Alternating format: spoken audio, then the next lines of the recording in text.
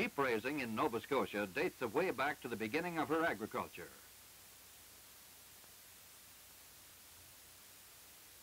Sheep are very important animals because they provide both food and clothing.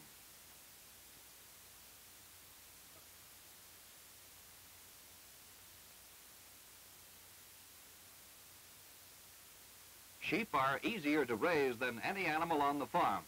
Yet just because they are so easy to raise causes some farmers to neglect them and leave them to forage for themselves on eroded pastures so that the quality of the lambs becomes very poor.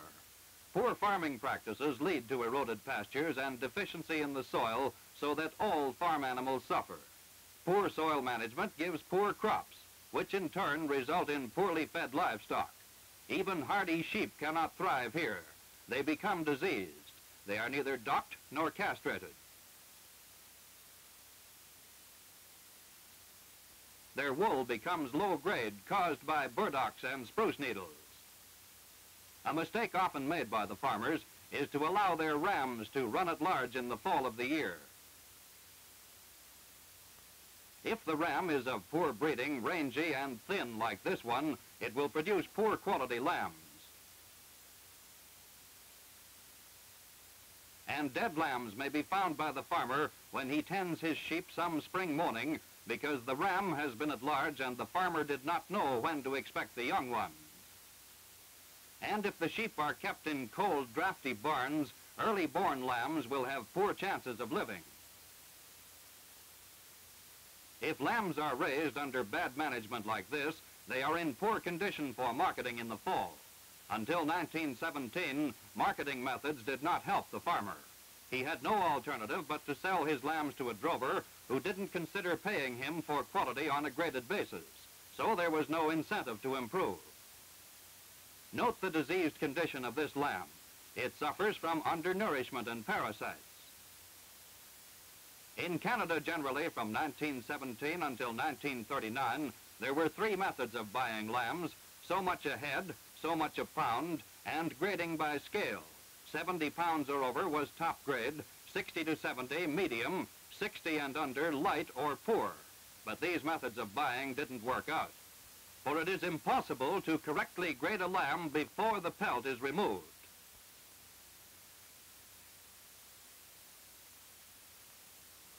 And rough handling of the lamb often results in bruised flesh, which lowers its value. To encourage the sheep industry through improved marketing conditions, the Nova Scotia Department of Agriculture requested the federal department to put rail grading of lambs into effect. Rail grading means that the lambs are weighed and graded after they are killed by an independent qualified person. For instance, the finish of this lamb is poor. It could not rate more than a C grade, and a C carcass lamb is usually light, ranging in weight from 20 to 30 pounds. Since the grading is done in a nearby town or his own community, the producer can compare poor with top quality lambs and see where the quality falls off.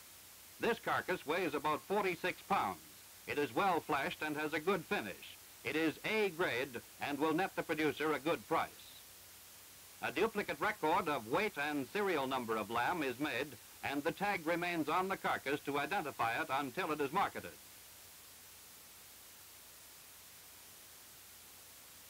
This experiment started in Nova Scotia in 1939.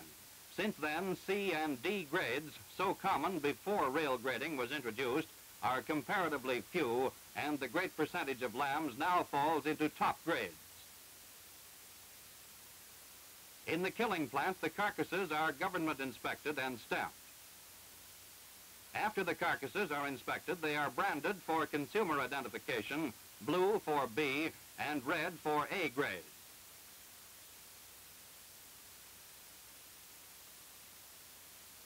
Rail grading of lambs has proved beneficial to both the consumer and the producer.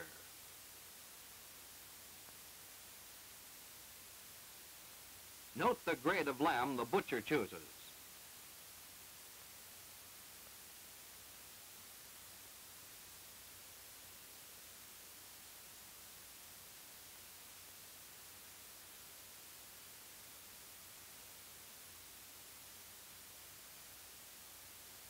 Note the satisfaction of the consumer.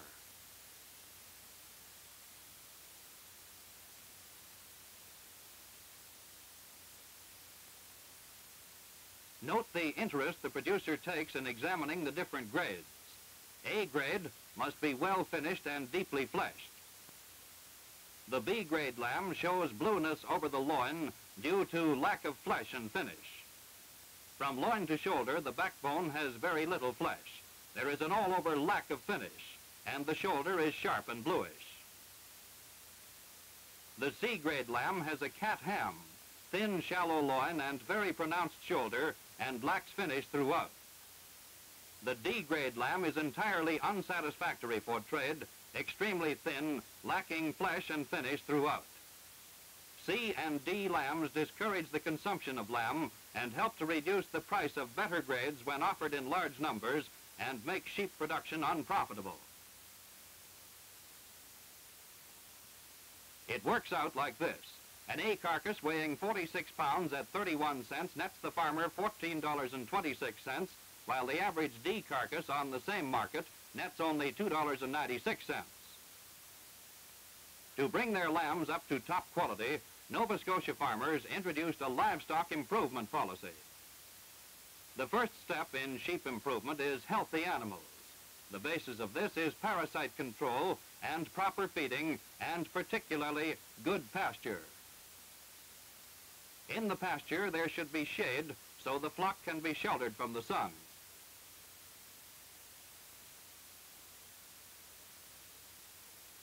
A good ram, strong, vigorous, blocky, and low set is necessary for a good flock as breeding has a very definite effect on the conformation of the carcass.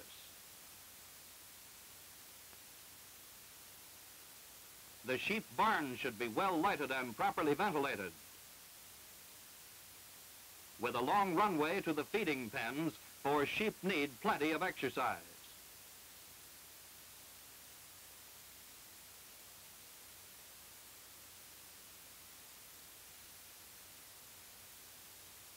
They should have a well-balanced ration throughout the winter months, with grain about a month before and after lambing. The breeding season is a very important period in successful sheep husbandry the ram should have his own pen and be allowed to run with the flock a few hours each day, the ewes flushed. Then a good lamb crop will be assured.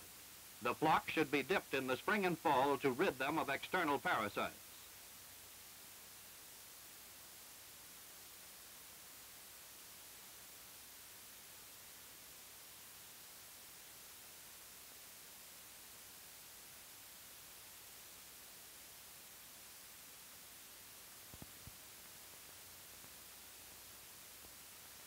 Internal parasites live in the intestines of the sheep and when heavily infested are very harmful to them.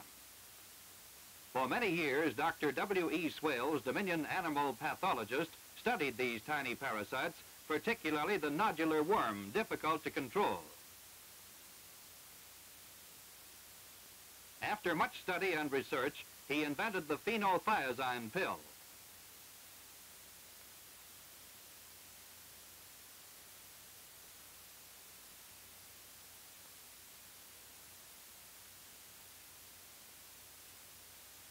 When the pill is placed in a glass of water, it explodes.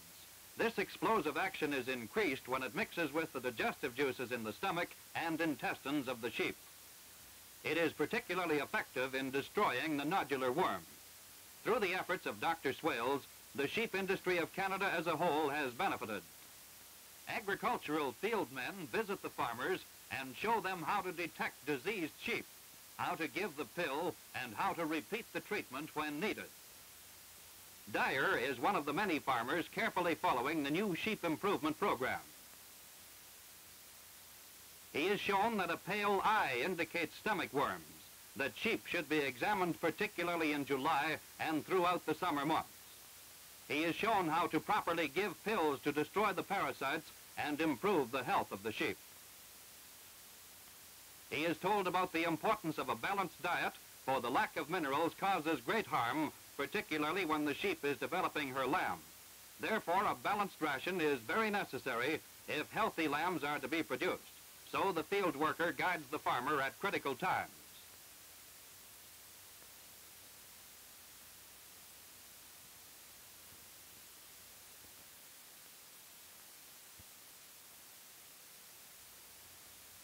The sheep should be shorn before the farmer becomes busy planting his crops.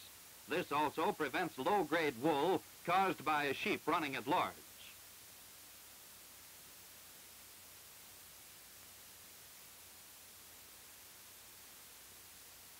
It pays to have trained shearers, for they will know how to handle the sheep and wool without harmful effects.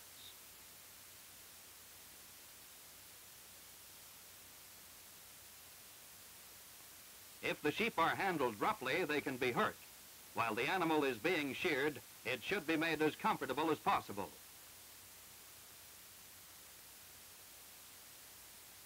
Shearing should always be done on a canvas or some protection on the floor or ground so the wool will be clean.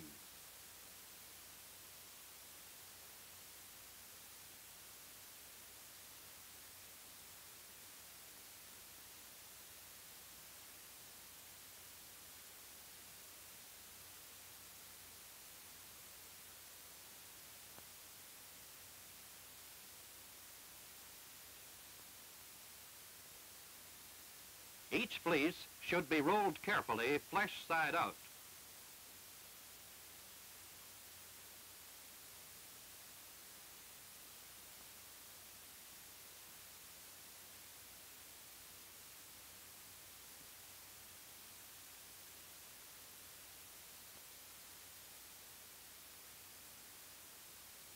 It should be tied with paper, not binder twine.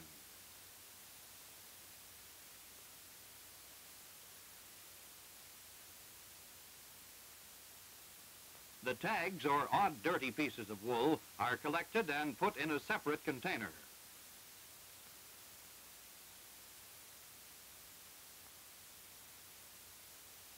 These are put in a bag with the wool.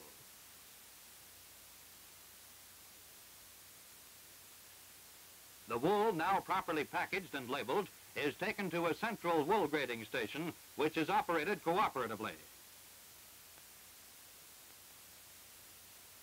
By marketing wool on an organized, graded basis, the quality has greatly improved. This fleece is full of spruce needles, chaff, and other vegetable matter. This can only be removed by the use of acids, which is costly and injures the quality of the wool fiber, while clean, healthy wool brings a good return. The different grades are placed in separate sacks and are branded according to grade for the protection of the buyer.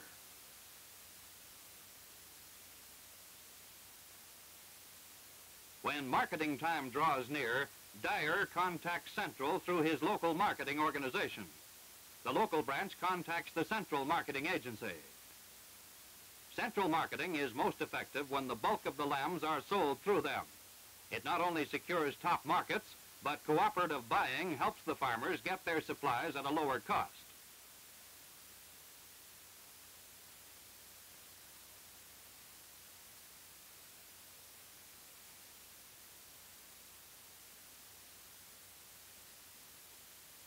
On the day arranged by the local marketing organization, Dyer assembles his lambs so they will be ready when they are called for.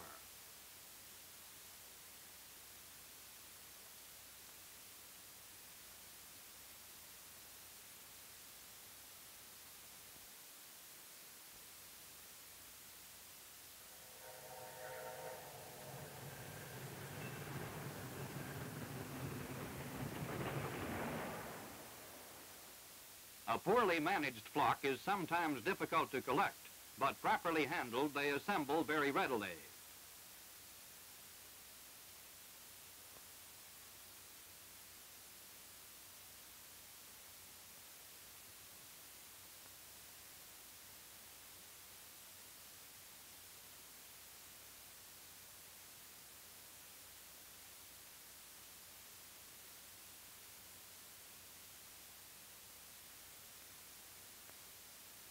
By the time the cooperative truck arrives, Dyer's lambs are all ready to be weighed and taken to market.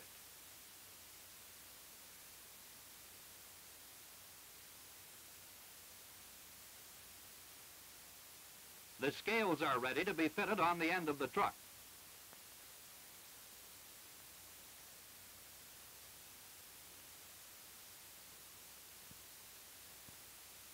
And one by one the lambs are checked for fleshiness and finish.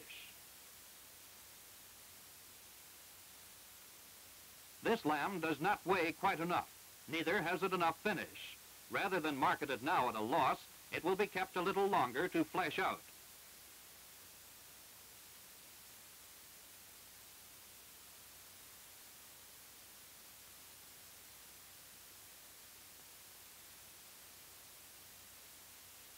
Handling of lambs is important.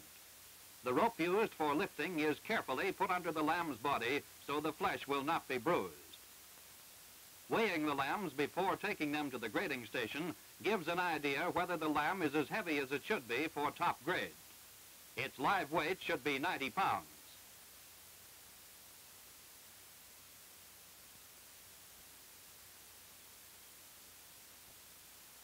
Each lamb is tagged in the ear with a given serial number which will identify it until it is marketed.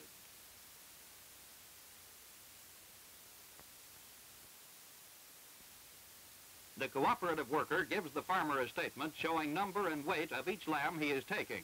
Such records are important. They enable the farmer to know whether his flock is improving or falling off. The lambs are taken directly to the slaughterhouse. From this point on, the producer has no concern about marketing or worry over quality. He knows they are all well finished and fleshed out to meet market demands, and there is a good market for them. So organized marketing on rail grading bases has led the way to a sheep improvement program beneficial to the sheep raisers of Nova Scotia. This program, having proved beneficial to Nova Scotia, is now adopted by Canada.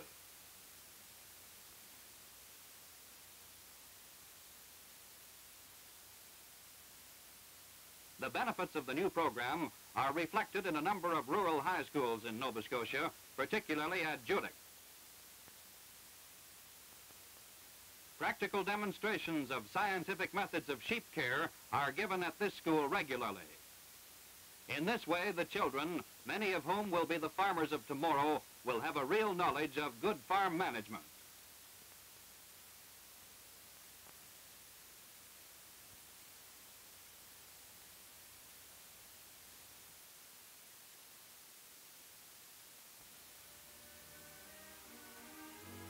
This province is well adapted for sheep raising. Through the new program of marketing and good flock management, sheep husbandry can and will fill a much larger place in the agricultural life of Nova Scotia.